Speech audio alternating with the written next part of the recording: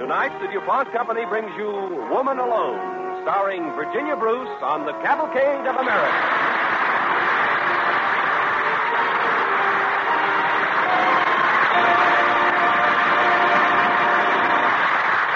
First, here is Gayne Whitman. Good evening. True but sad is the fact that the American home is not a safe place. Many accidents from slipping and skidding occur in our homes. Accidents that can be tragic. Make your home a safer place by using DuPont slip retardant wax on your floors. This slip retardant feature gives this wax an important safety factor in that it reduces the hazards of slipping and sliding. DuPont slip retardant wax is easy to apply and dries to a rich luster that adds to the beauty of your home. Try DuPont slip retardant wax, one of many DuPont better things for better living through chemistry.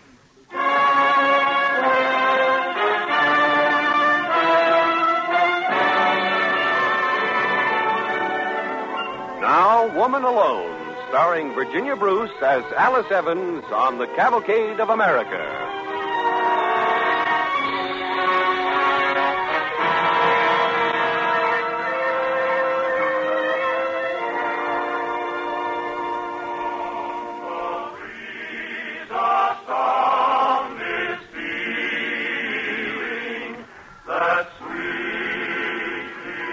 Be off to Washington in fine old country Welsh style, Alice, with the choir singing you farewell. Everybody's been so kind, Mother. We'll be waiting to hear of the great things you'll be doing. Oh, Father, I, I just hope I'll make good. I'm a little afraid. Isn't every girl who's had your schooling a degree in bacteriology, so don't let anybody talk you down. Oh, take care of yourself, dear. I will, Mother. Goodbye.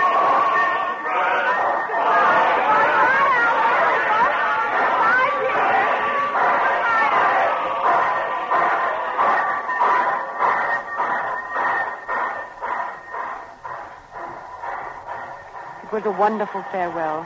That day back in 1910 when I started out from our farm in Pennsylvania. The old Welsh song to say goodbye. Father and mother standing there waving.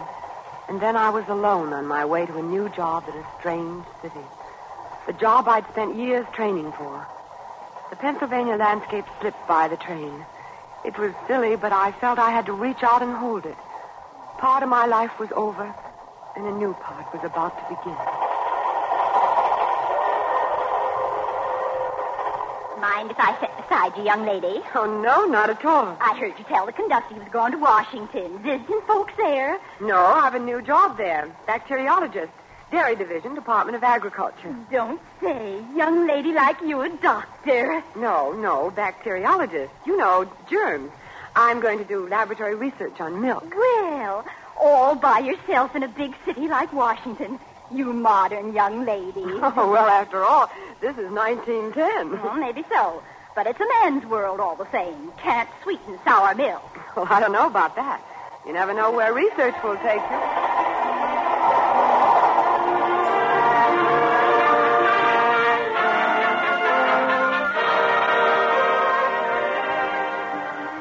Sitting there on the train that day, I wondered where research would take me. But I didn't know, and I couldn't see into the future. Tomorrow was a question mark. I went to work in Washington, and the years marched by double quick.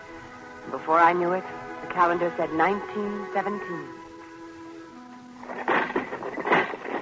Well, here's another couple million bottles of milk for you, Miss Evans. Big boxes full of little bottles. Milk from Maine, milk from Wisconsin. Careful milk... now. There's 48 states, remember? Always looking at milk in that microscope. You ever see anything interesting, Miss Evans? First year or two, I thought I did. But no. Didn't Well, you ever realize a, a woman might not get a chance to make a reputation in science? Not unless she worked on tuberculosis germs or, well, something big like that. Why, milk is big. It's business for lots of farmers and big business for most dairies. Maybe. But I promise you, nobody ever got a big name on milk research. Here, take a look in this microscope. Uh-huh. Well, see those germs? Yeah, sure. Hundreds of them. Those bugs come from cow's milk. From a bred cow, as a matter of fact. Well, what does that? That cow looked healthy, but she was really sick. She lost her calf before it was due. Yes, I know that disease. Back home on the farm where I come from, they call it Bang's disease. And Bang was the Danish doctor who discovered that germ you looked at in the microscope. Well, there you are. Dr. Bang's already discovered it, and it's called Bang's disease. So, why fool yourself, Miss Evans? You're in a dead end field.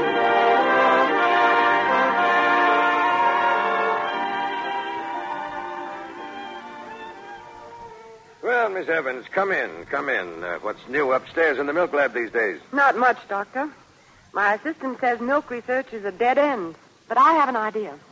Do you remember the other day we were talking about Bang's cattle disease? Surely, I remember. Is this a bright idea, Miss Evans? Inspiration? Well, at least an idea.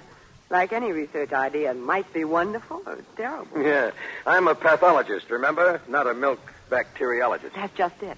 Doctor, you know animal diseases. Tell me, are there any animals other than cows which look healthy, yet excrete a disease germ in milk? Why, yes. Goats. You know, uh, Dr. Bruce discovered the germ on the island of Malta in the Mediterranean. They found the germ in the milk of healthy looking goats. People who drank the infected milk got sick with Malta fever. Hmm. Bang's cow germ makes cows sick, and Bruce's goat germ makes goats and people sick. If you're wondering about any other four legged animals. No, Doctor. Right now I'm wondering about the human two legged kind.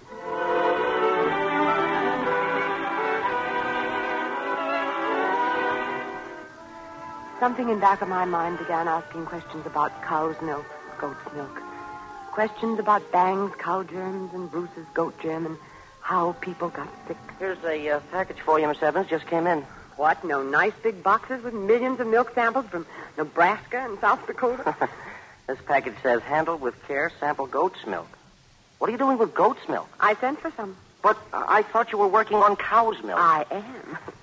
Turn the lights on when you leave, will you? I'll be working late tonight.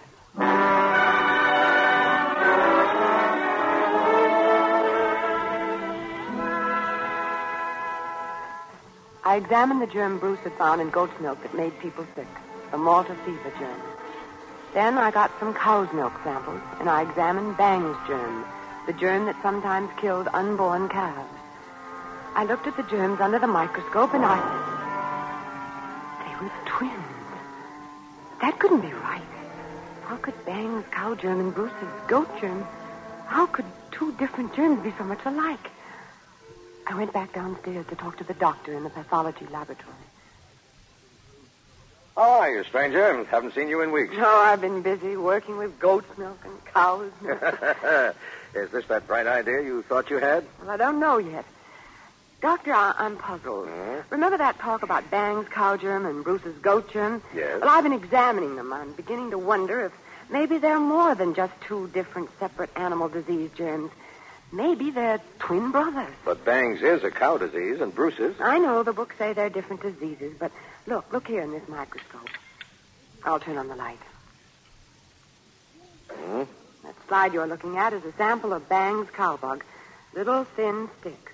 But some of them are short enough to look like round beads. Yes, yes. Now look at this second slide. Hmm. Practically the same thing.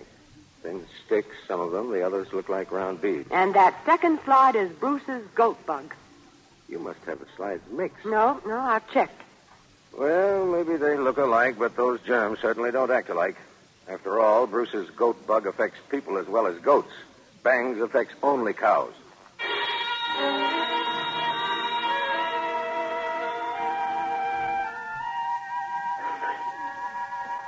There's no excitement in science like watching a locked door slowly open.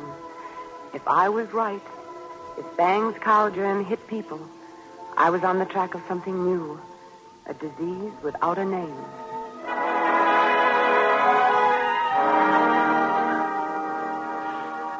I spent weeks preparing test tubes and sterile plate glass plates to grow germ colonies on.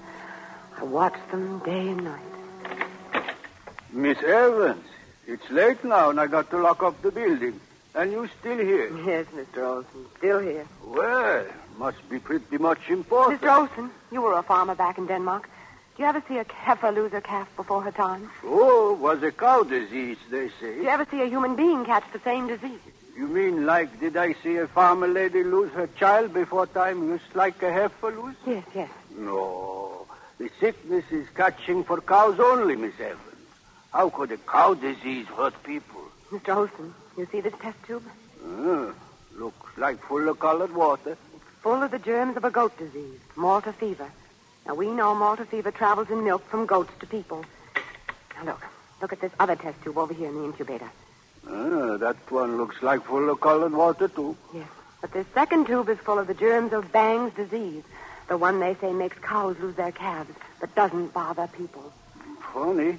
They look just exactly the same to me.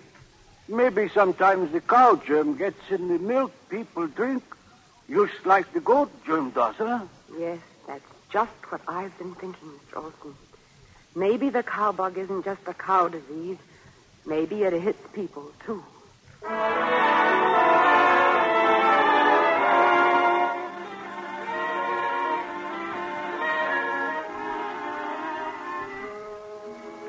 Here's sample 209, Miss Evans. Thanks. I. I take back what I said a few months ago. Sure looks like you got something big here. Oh, I don't know. It bothers me. It's almost too simple. Why hasn't anybody noticed the comparison between the goat bug and the cow bug before? I think I know why. Maybe. What's the matter? Why are you looking like that? Miss Evans, I've been checking the research literature. Practically everybody who's worked with these germs has caught the blame disease. Well, after all, if you're in a laboratory, you can't avoid handling Yes, the germs. you can. Easy. Drop the whole idea. Drop it. Just when the dead end you warned me about turns into an open highway? But what if you get sick? That's a different kind of dead end. No. I'm going to report this research to the Society of American Bacteriologists in December. I've got to keep working.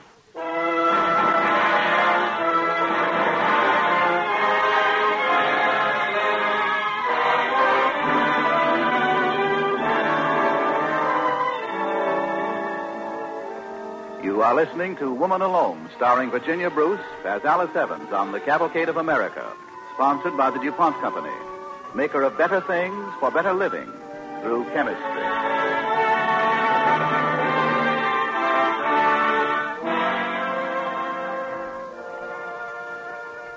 Alice Evans, working as a bacteriologist in the dairy division of the Department of Agriculture in Washington, becomes convinced of the similarity between what were thought two entirely different diseases Malta fever, which struck at human beings, and Bang's disease, which affected cattle. It is her belief that the cattle disease can be transmitted to humans through cow's milk, as Malta fever is transmitted through goat's milk. The second part of our story opens at a meeting.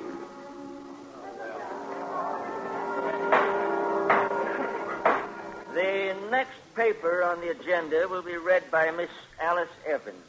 Uh, Miss Evans.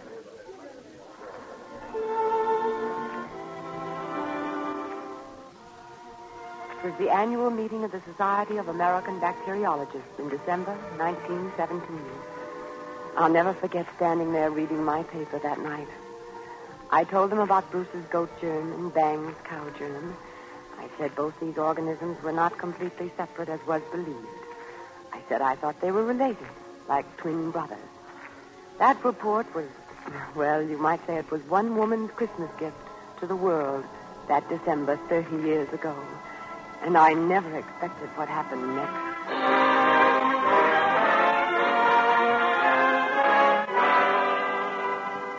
Now, if I understand Miss Evans' paper correctly, and I think I do, she would have us believe that just because infected goats transmit the organism of Malta fever to humans through milk, it automatically follows that cows can do likewise with Bang's bacillus. It's an overly simple parallel, I think.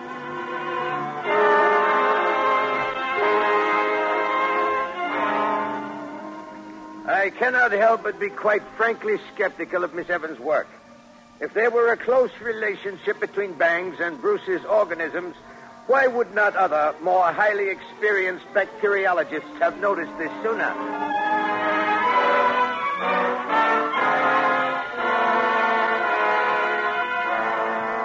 If we accept your findings, Miss Evans, we would have to accept the concept that Bang's organism might travel through cow's milk to humans, thereby infecting a person with some disease. But it is a possibility. I want to be fair, Miss Evans, but I believe you're too hasty.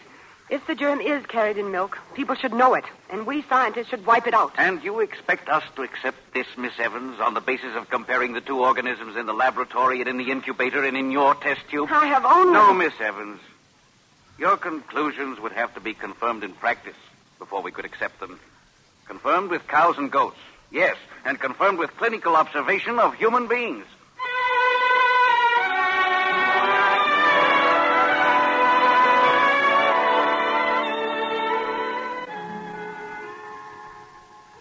In 1922, soon after I'd gone to work for the United States Public Health Service, the tide began to turn.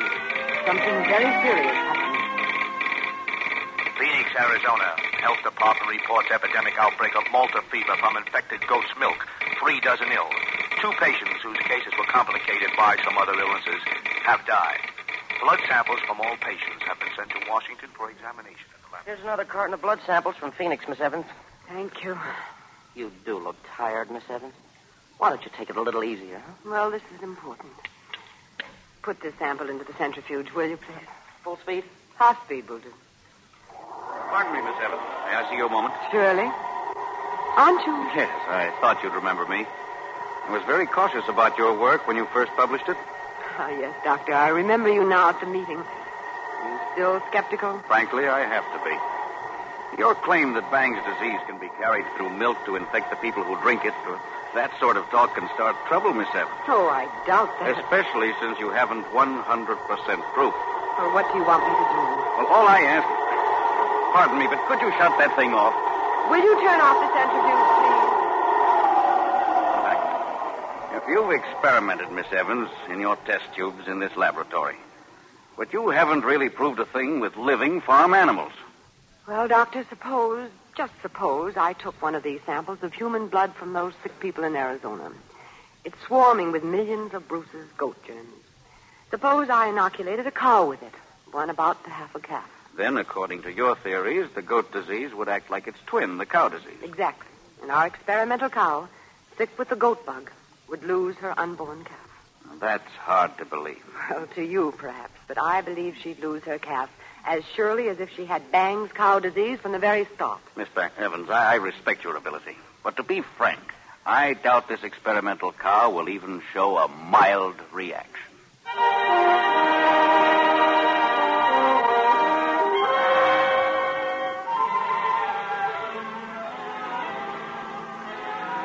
Uh, well, here's Melinda, just like you asked, ma'am. She's a fine heifer, Melinda is.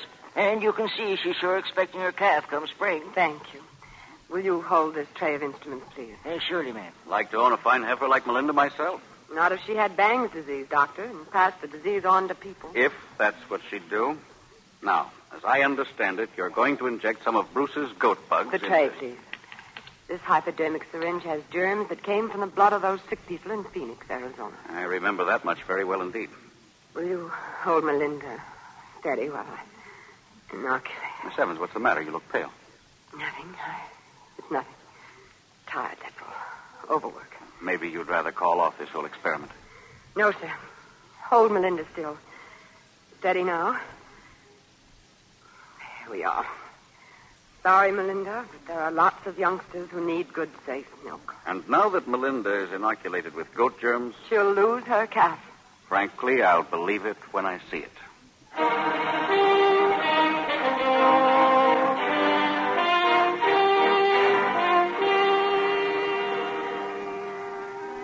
Was sure I was right. I was sure Melinda would lose her calf. I was so sure she would. Good afternoon, Miss Evans. Oh, good afternoon, Doctor. Any word about Melinda? Well, I asked them to call me as soon as anything happened to her. If something happens. I'm quite certain. And I'm quite willing to be convinced. Fine. Suppose I come back in a week or two. Make it three or four. Let's give Melinda time. All right. But if your experiment fails. It won't. If it fails, I'll expect you to be fair. I'll expect you to withdraw those statements you made What statement?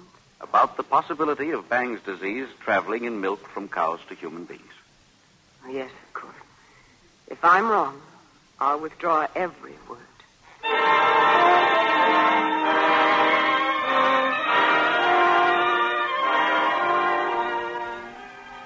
The days crept by slowly, and for some reason my strength seemed to creep away with them.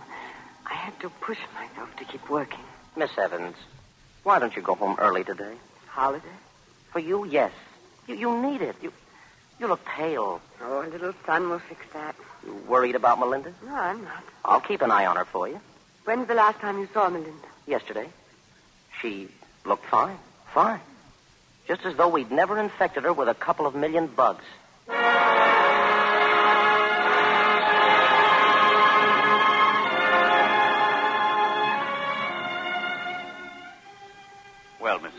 Feeling better today? Well, I... Why do you say we drive out to the country today to look at Melinda and her calf? If Melinda has a calf. Well, let's drive out and see. Well, I'm I'm sorry. I, I'm rather. Well, I'm a little run down today. Yes, it must be quite a blow to see years of hard work wasted. No, I can't believe that. Nothing as frank as plain facts. You told me not so long ago. We don't know the facts in this case yet. But we will soon. Uh, people have started talking about this German milk, you know. Farmers, dairymen. It will be up to you to tell them this disease you say people get from cows. uh, Undulant fever. yes, undulant fever. It will be up to you to reassure all those people. Excuse me, please. Surely. Hello, Miss Evans speaking. What's that? Yes? Oh, I see. I see. Will you send some of her milk down here to be tested, please? Thank you. Melinda, Yes. what happened? Forgive me, but could you come back in a few days? Our results won't really be complete until then.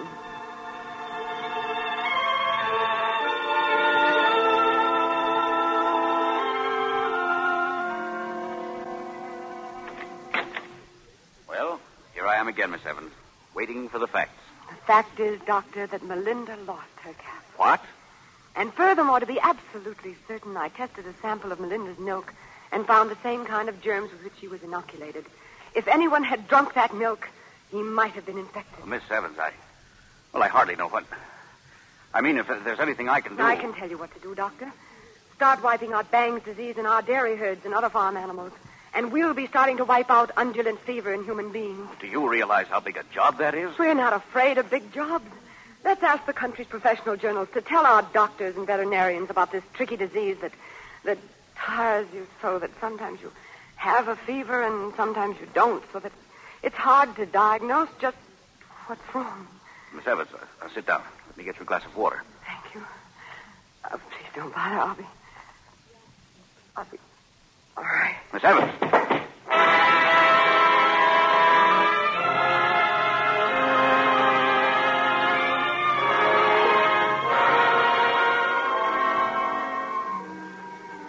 I was not all right. Sometime later, I had an operation, and I got a report from the laboratory. They had found Bruce's germ in my blood. I had caught undulant fever myself. Undulant fever, they called the disease and the form in which it hit human beings. But as I could tell them from first-hand experience, you didn't always have a clinical fever. So we chose a new scientific name, brucellosis. But new name or old, the germ was stubborn. So there I was, five years later, lying in a hospital Norfolk, Virginia. But that didn't matter because Miss Evans, it is our great honor to have elected you president of the American Society of Bacteriologists. Miss Evans, by unanimous consent, we confer upon you this honorary MD and doctorate in science. those things made me very happy, yes. But what I liked best was to know that we'd started the job of making milk safe for millions of American families. Our farmers and dairy industry joined in the fight enthusiastically, wholeheartedly. And it seemed I could hear again the chapel choir singing the same tune they'd sung when I left home so long before. And the song, Companion in Arms, made me think of the men and women who work unseen, sometimes unheard of, in the laboratories of America, working to make life better and safer for all.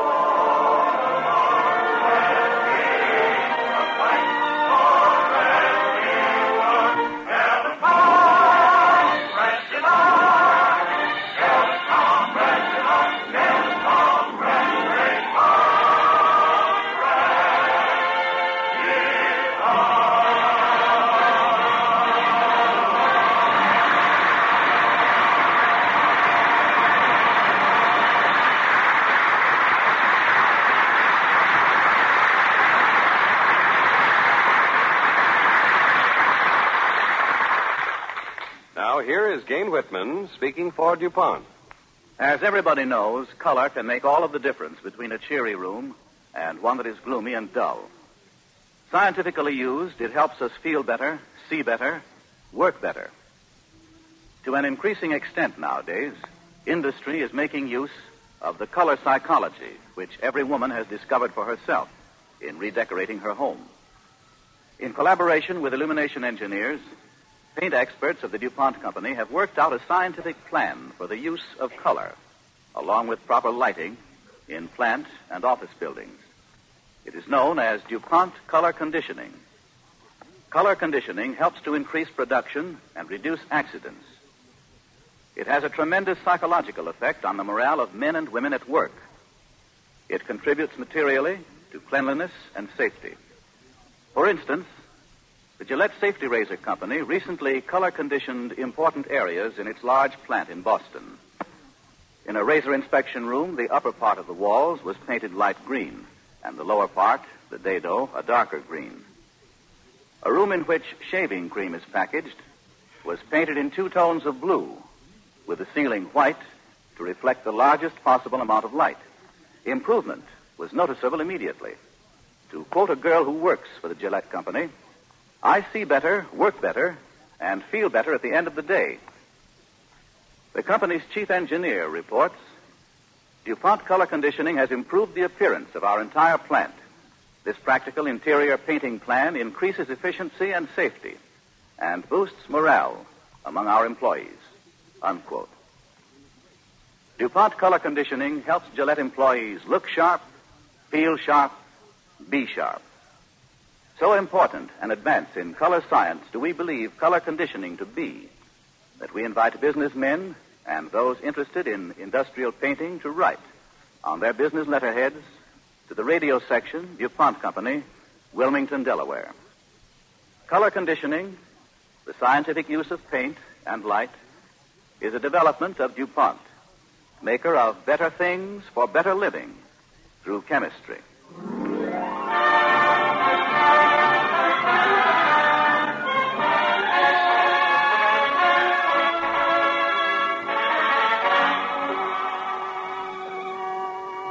Music for the DuPont Cavalcade is composed and conducted by Robert Armbruster.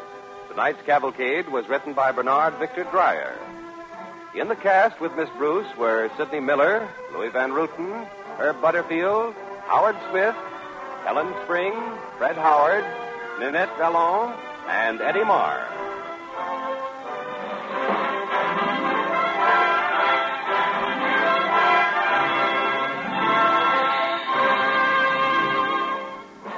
Gayne Whitman with a few important words. Thank you, John Heistand.